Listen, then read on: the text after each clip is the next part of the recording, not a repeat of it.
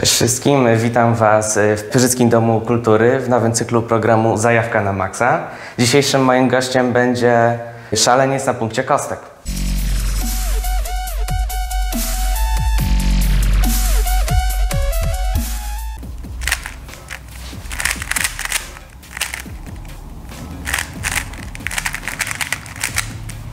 Oliver Schramm i układam kostki już od dwóch i pół roku i mnie to bardzo interesuje. Skąd się wzięła Twoja pasja?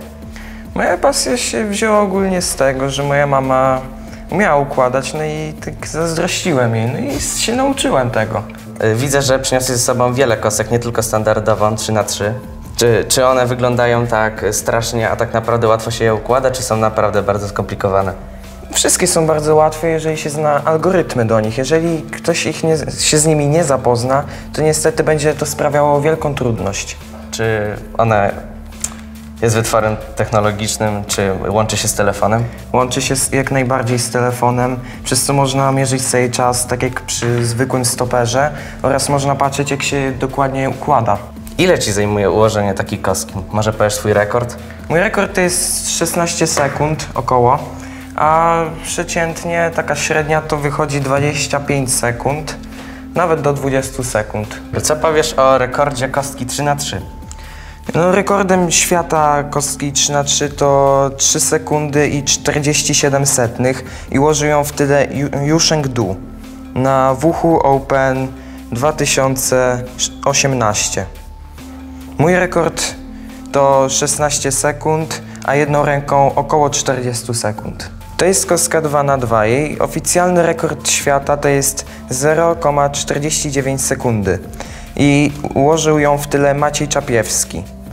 Jest bardzo prosta, można ją ułożyć jedną ręką, jak w sumie kostkę 3 na 3 też, co mogę zaprezentować.